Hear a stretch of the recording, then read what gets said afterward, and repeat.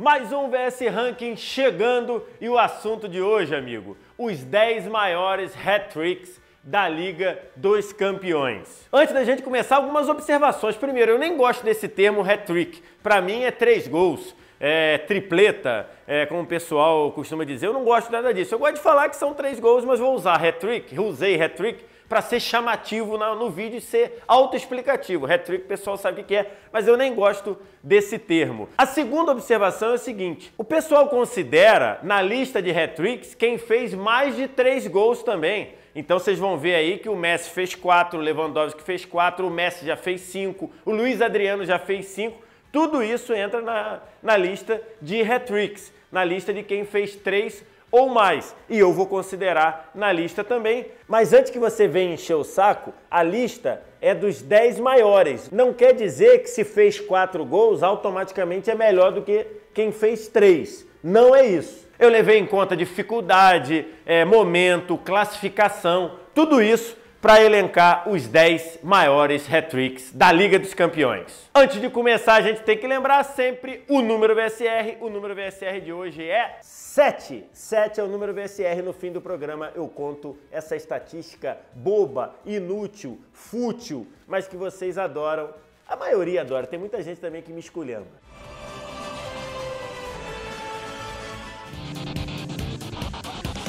Vamos começar com ele, Adriano Imperador, jogando pela Inter de Milão. A Inter recebendo o Porto. Na época, uma das grandes defesas do futebol europeu e o Adriano não quis saber. No primeiro tempo, entrou pelo lado esquerdo, ganhou no corpo, pum, bateu, a bola subiu e entrou. E no segundo tempo, dois gols de centroavante. Um recebendo no meio da zaga, batendo sem nenhum susto, e no outro caindo pelo lado direito, limpando e finalizando. Baita hat-trick Décimo lugar, Adriano Imperador.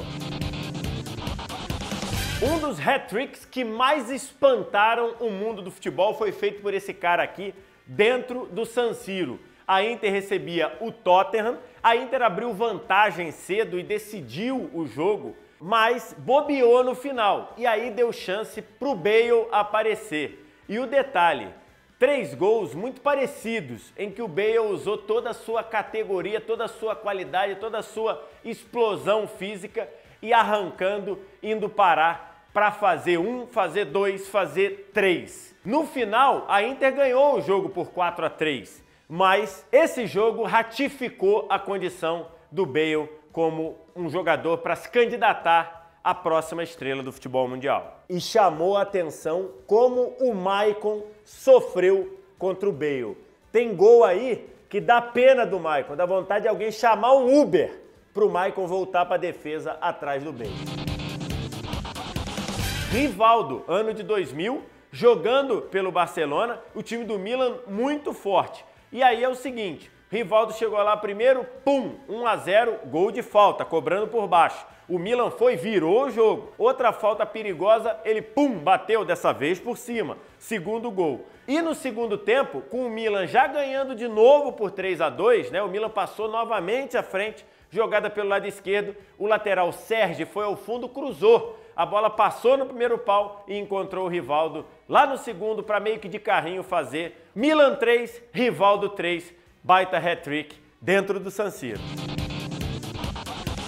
Na CR7, posição, vem ele, Cristiano Ronaldo. Antes do jogo ele falou, precisamos de uma noite mágica no Santiago Bernabéu. Real tinha tomado uma paulada de perder o caminho de casa 2 a 0 fora o baile na Alemanha para o Wolfsburg. Precisava mesmo de mágica. Ou não. Só precisou mesmo do Cristiano Ronaldo. Em 20 minutos, a vantagem do Wolfsburg já tinha desaparecido. Cristiano Ronaldo, Cristiano Ronaldo num bololô, em dois bololôs na área, fez como um centroavante que em muitos momentos ele é, fez 2 a 0 para o time do Real Madrid. E aí o Real Madrid tinha 70, um pouquinho menos de minutos, 65, 68 minutos para fazer mais um e se classificar. E esse um veio no segundo tempo falta na entrada da área, Cristiano Ronaldo pegou a bola, bateu sem peso, ela passou no meio da barreira, a barreira abriu, deixou o goleirão Benalho no mato e aí o Cristiano Ronaldo sacramentou seu terceiro gol, sacramentou a noite mágica no Bernabéu e sacramentou o rumo para a 11ª orelhuda do Real Madrid. e esse aqui foi sensacional. 2014, o City recebendo o Bayern com a missão ganhar o jogo para continuar pensando em classificação. E o City saiu na frente, fez 1 a 0. Só que o Bayern, um timaço, virou o jogo. E aí o City ficou no mato, martelando, martelando, bola na área, bom meu boi e nada. Faltando 5 minutos, 40 do segundo tempo, outra lambança do time do Bayern no meio-campo, o Ovetite roubou e aí deixou com o Agüero. Ele arrancou, pum, toque de sinuca no canto, 2 a 2. O empate ainda era péssimo para o City, que continuou martelando e aos 45 do segundo tempo, de novo o Boateng deu mole, deixou a bola à mercê do Sérgio Agüero e ele só entrou na área e cumprimentou fazendo uma virada incrível para enlouquecer o Etihad Stadium. Sérgio Agüero merece estar tá aqui no VS Ranking. Vamos lá para o fim da década de 90, 1997, jogavam Newcastle e Barcelona. É isso mesmo, amigo. Newcastle frequentando a Liga dos Campeões. Não acredita? É só ver aqui que a gente vai te mostrar. Abertura da temporada 97-98, Newcastle recebendo o todo-poderoso Barcelona e ele, Tino Asprilha, deitou e rolou infernizou a zaga do, do Barcelona. Primeiro gol de pênalti, ele sofre o pênalti com uma jogada que ele driblou todo mundo pelo lado direito, ele bate, faz 1 a 0. Ele nem era um grande cabeceador, mas vocês vão ver aí que ele decidiu esse jogo na cabeça. Aí logo depois, cruzamento da direita, ele sobe mais que todo mundo e mete a testa na bola para fazer o 2 a 0 no segundo tempo. Outro levantamento, outra bola que ele sobe demais e faz o 3 a 0 para espantar o mundo. Falsino Asprila fazendo três gols, um hat-trick e tá no VS Ranking também. Até o momento que a gente está gravando esse quadro, você sabe que o Cristiano Ronaldo está fazendo hat-trick todo dia, né? Messi e Cristiano Ronaldo são os que mais fizeram hat-trick na história da Liga dos Campeões. Cada um fez sete. Um desses hat-tricks do Messi, ele não é de três, mas ele é de quatro gols. E é esse aqui que a gente vai ver. É o jogo contra o Arsenal. Liga dos Campeões de 2010 e o time do Barcelona passeou em cima dos Gunners e cada pintura, uma mais bonita que a outra, como vocês estão vendo aí. Então, uma vez Messi, duas vezes Messi, três vezes Messi, quatro vezes Messi e tá na quarta posição. Coincidência? Outro jogador que está aqui, mas não fez três gols, fez quatro.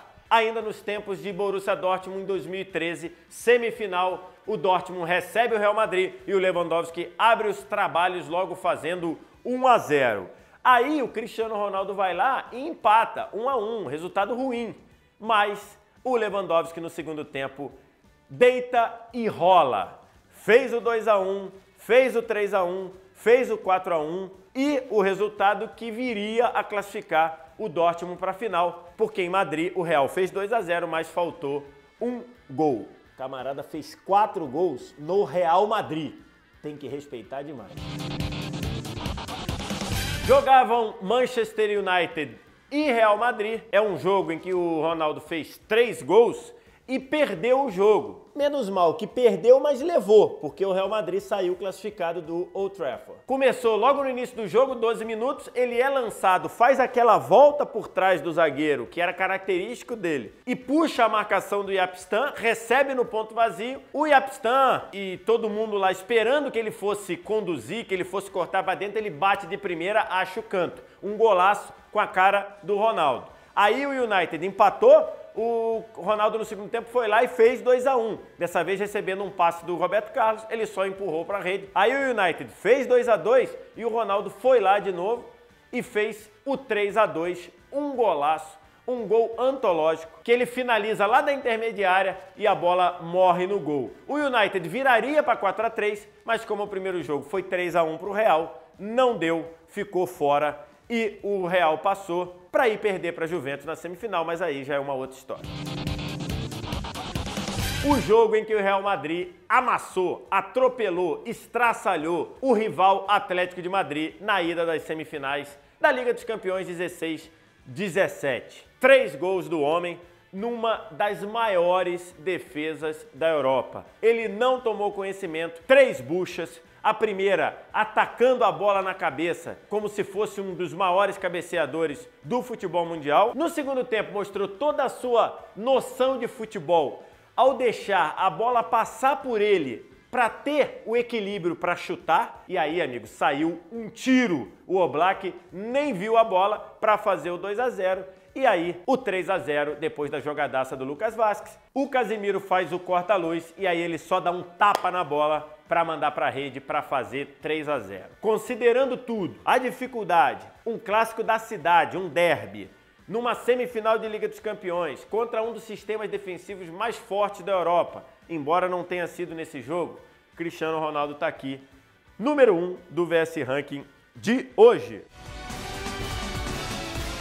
Hora de revelar o número VSR, essa estatística que me dá um trabalho danado de pesquisa, de consulta. Eu falei que o número VSR de hoje era 7. 7 mortais o Asprilla deu quando fez esse hat-trick. O Asprilla sempre comemorava gols dando mortais. E nesse aí ele fez três, no total sete mortais, que até hoje é o maior número de mortais dado por um jogador em um jogo de Liga dos Campeões número ratificado pela London Broncos Auditores Independentes. É isso aí, acabamos essa bagaça, um dos VS Rankings que eu mais gostei de fazer, bem bacana, espero que vocês tenham gostado. Se vocês gostaram, dão o um joinha aí, porque é importante. Se inscrevam no canal do Esporte Interativo no YouTube, muito programa bacana, tem o Tabelando, o programa na gaveta com o Mauro. Começou agora o gol de ouro do Fernando Campos, Donan Campos, o novo fenômeno do YouTube mundial. E aí você vem aqui embaixo para sugerir é, temas para os próximos programas. O próximo programa, na verdade, já tem o tema definido, os 10 gols mais bonitos do Brasileirão 2016. Você vem aqui e diz os 10 gols mais bonitos que eu vou pegar aqui, ainda vou te dar crédito. Valeu?